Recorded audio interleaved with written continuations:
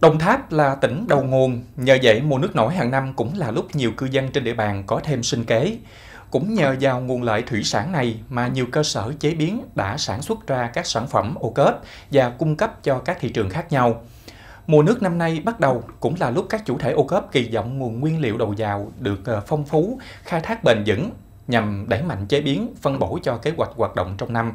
Thông qua đó, góp phần gia tăng giá trị sản vật, thu nhập cho người cung ứng và gìn giữ nét đặc trưng của địa phương dùng đầu nguồn đồng bằng sông Cửu Long. Đặt ở địa bàn đầu nguồn, cơ sở chế biến nước mắm Thượng Nguồn ở xã Thường Lạc, huyện Hồng Ngự rất mong chờ mùa nước nổi. Bởi cơ sở có dòng nước mắm được chế biến từ cá linh, và đây cũng là loại thủy sản đặc trưng mùa nước nổi. Cá linh tự nhiên được đánh bắt có trách nhiệm, lựa chọn kỹ lưỡng là nguồn nguyên liệu đầu vào đặc biệt quan trọng đối với cơ sở.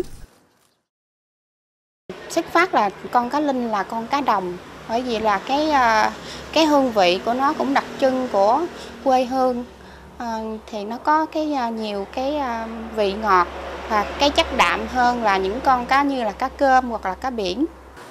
Theo chủ cơ sở thì năm nào cũng vậy, trước khi mùa nước nổi về phải chuẩn bị dụng cụ trữ cá linh và liên hệ với các hộ đánh bắt, đầu mối cung cấp để đạt thu mua ngay khi cá đạt tiêu chuẩn.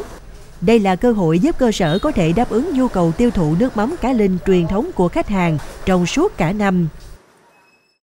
Sau khi mà mình tham gia và được công nhận là sản phẩm ô cốp thì ờ, cũng được ừ, giới thiệu và tham gia nhiều cái uh, phiên hội chợ cũng như là các buổi à, xúc tiến thương mại có quay những cái clip làm thực tế của cơ sở mình.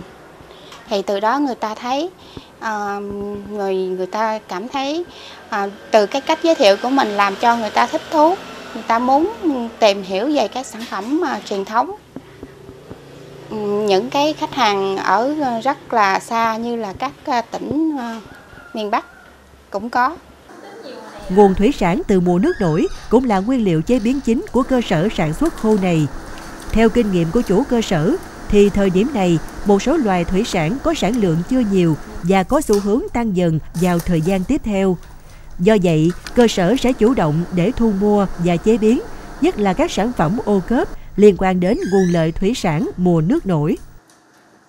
Cái nguồn nguyên liệu từ ờ, tự nhiên thì ờ, hiện tại đầu mùa nước thì cơ sở đã thu mua được à, các cái loại cá đồng thì à, gồm cá lóc đồng, cá lồng tông và đặc biệt là trong chờ trong cái mùa nước này là các cái à, sản phẩm từ thiên nhiên như là tép và các cái loại thủy sản khác như là cá chạch, cá kết và cá chèn.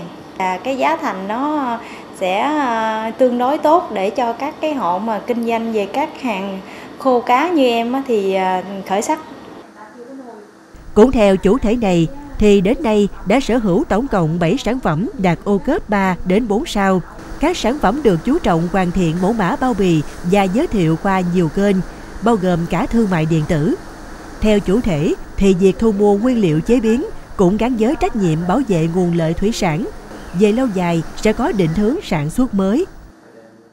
Nếu như mà chúng ta đánh bắt mà tận diệt quá với cái lượng lớn thì nó sẽ không được duy trì và phát triển nhiều năm. Cơ sở ờ, ờ, chuyên về sản xuất các cái dòng khô cá đồng tự nhiên thì ờ, cũng có cái kế hoạch định hướng sắp tới là cho ra mắt hai cái sản phẩm là uh, cá nuôi nhưng mà dạng như là nuôi tự nhiên trên cái đồng ruộng thì nó sẽ giữ được cái lượng dinh dưỡng cũng như là đảm bảo được cái giá trị dinh dưỡng cho khách hàng.